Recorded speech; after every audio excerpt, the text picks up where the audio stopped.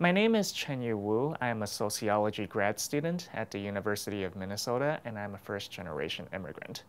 Although I was born in Taiwan in the late 1980s, um, I spent most of my childhood in Thailand itself.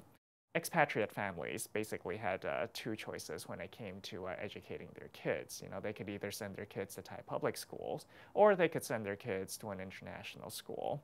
And um, perhaps unsurprisingly, a lot of expat families chose the latter option, international schools. I enrolled in a K through 12 English speaking school, which accounts for my um, linguistic ability and comfort with the language. Um, so when it came time to choosing college, you know, due to my educational training, you know, my options or pretty much, you know, go to an Anglophone country. And the popular destinations for my peers, other people in my in similar situations, was, you know, here in the United States, United Kingdom, Australia, Singapore. Um, I chose the United States for a couple of reasons. Um, first, my brother had enrolled in Grinnell College. He's older than me, and so he came to the United States three years before I did.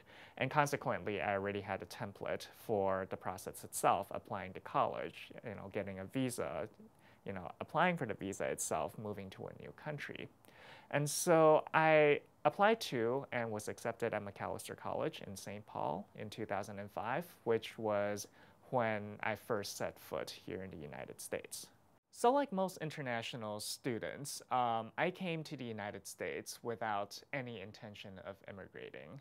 Um, I figured that um, I was here in pursuit of uh, an education and whether or not I stayed in the United States afterwards would be more a function of whether I was able to find a job here and you know find an employer who was um, you know willing and able to sponsor me for an employment visa. Um, and you know during my first year, you know four years seemed to be a long time away, and so that was never something I gave that much thought to. Um, however, one thing that I quickly noticed after being here in the United States, spending a couple years here, was uh, how much more comfortable I felt here compared to the other two places that I've lived in my life, that being uh, Taiwan and Thailand.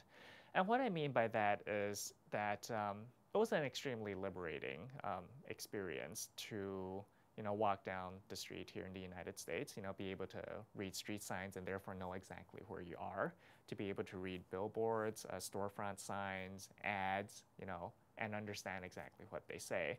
That was not the case um, when I was in Taiwan or Thailand, as I never received formal linguistic instruction on um, either you know Thai or you know Chinese itself.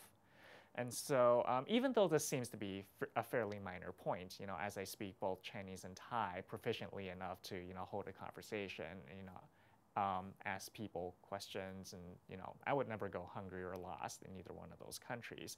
Um, here, being here in the United States gave me a sense uh, of independence unlike any sense of independence I've ever felt before.